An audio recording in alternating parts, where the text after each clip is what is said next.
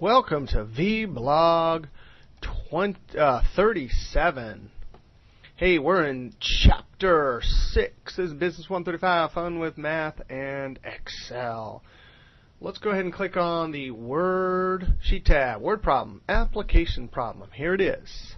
If the series trade discount is 2015-5 and the net cost after trade discount is 64.60, what is the list price?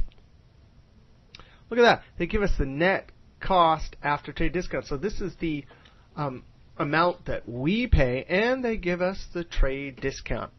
So you may have to think a little bit about this, but let's just do step one, and maybe along the way we can kind of figure out what they're asking. I'm just going to take as many details and just list them first, and maybe that'll lead me to an answer. Series trade discount 2015-5. Then I went ahead and put one, two, three, the three different uh, discounts and the net cost 64.60 but what is the list price? That's what they're asking there. Now earlier we kind of hinted at that anytime we calculate the net cost equivalent right net cost equivalent if we multiply that by the original list price it gives us how much we cost. Well um, th- this is the net cost equivalent. When we calculate I'm sorry, the, the cost, if we calculate the net cost equivalent, that's going to be a percent or a decimal that we multiply by some original whole or base, the list price, to get this part. So there you go. This is a part rate base problem. And I even actually drew a little picture over here to, to help me remember that.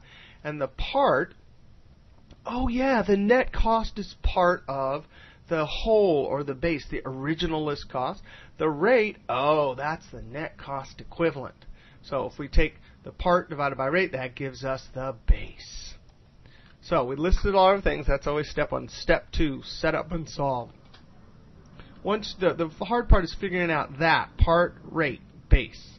Remember, we started with the list price times some rate gave us the part. And as we remember from chapter 3, where there's three different versions of this formula, this is one of them. Part divided by rate equals base. So we're going to calculate our rate, which is net, net cost equivalent.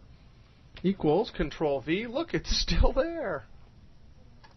20%, close parentheses, times, control V, click on the next one, close parentheses, times, control V, click on the next one, close parentheses.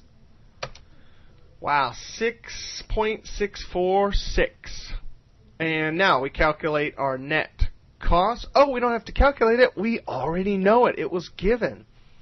$64.60.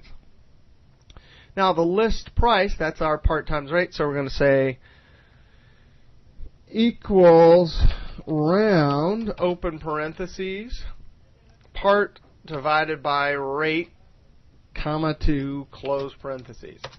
Now, this, I put a little comment here. If you point to it, that little red thing says there's a comment.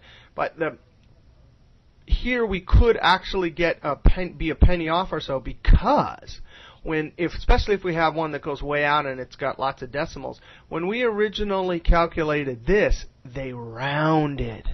So if we take this, which we calculated from the original unrounded percentage, take this thing that's rounded by this that's not, we could be a penny off here. And it's kind of because we're going in reverse order here. All right, uh, write your answer in words. There I did it already here with a series discount of. And again, the trick is I just grab all the words from there, and they they were asking for the list price, so I could say the list price after a trade discount of this and a given information of net cost is, and that's kind of what I did with a trade discount of 2015.5 and a net cost of 64.60. The list price was